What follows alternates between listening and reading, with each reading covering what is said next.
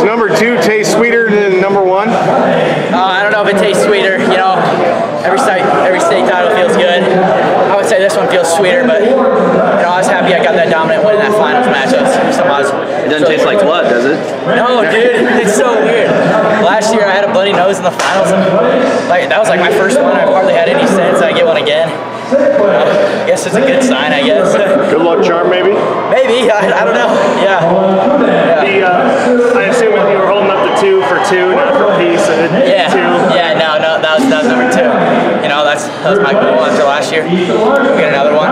You know, now I'm an ex-host. Goal is to go get number three. You know, at the same time, I'm going to. to you know, I got goals to freestyle to make world teams. You know, win national championships. So, you know, just keep climbing. How'd you approach this year as a you know returning champ? How did that make this year different, or just more affirming everything that you did? Um, you know, I pro- thank you. You know, approach this year. You know, I got that first one. I was trying to jump, jump levels, dominate. You know, won a state finals last year, three to two. You know, open that gap. You know, no, nothing's close. You know. How does it feel to really accomplish that on a lot of levels? It's good, you know. That's what I really wanted to do. The finals match, I want to go out there and dominate. You know, I wrestled them twice, beat them ten to four, widen that gap.